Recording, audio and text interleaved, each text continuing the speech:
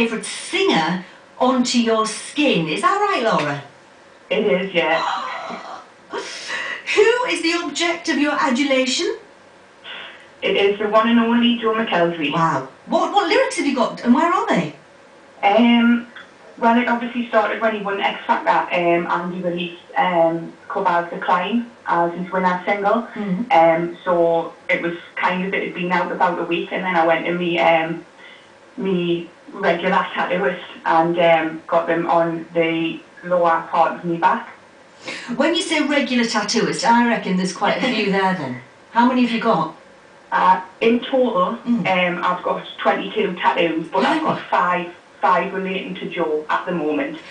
And there's a high risk of getting a sixth, a seventh, an eighth, a ninth, and maybe even a tenth, I would say. You have no room left. I know. disappear. what is it about Joe then? Why, why is it that you just adore him so much?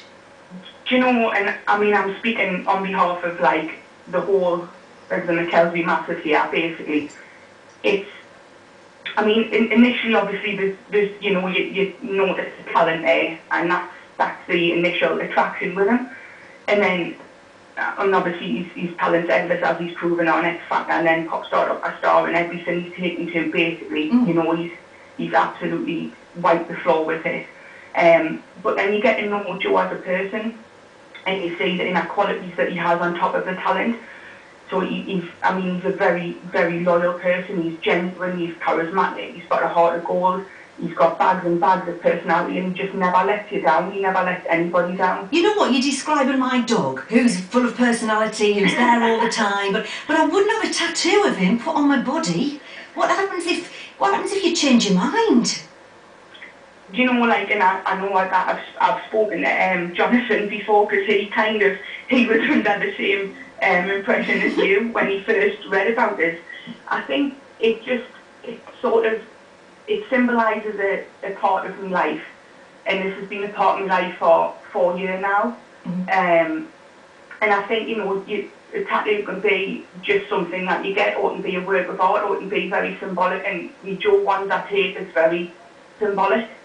Um, you know, it symbolises a part of my life. And I, I mean, I get, you know, I get comments like that all the time. And I just think it's, it's something that's important to me. And I think that's, that, that's the purpose of a tattoo. It, it might not look nice, or it might not sort of sound like anybody else, but to you, it, it means a hell of a lot. It's a really personal thing.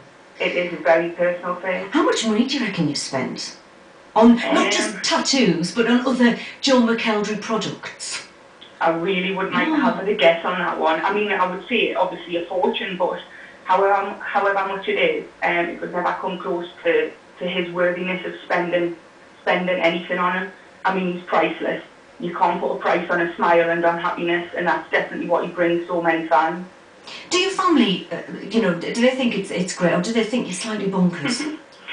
Um, slightly bonkers. Slightly um, absolutely mental is crazy is what um, I've been quoted on a few times. I mean, my family are, are, are ace, do you know what I mean? They're, they're like, they're very understanding now of the situation and they know that I work hard and they know kind of how important he is to us and so many other people and I think he's kind of, um, he's a part of their life now.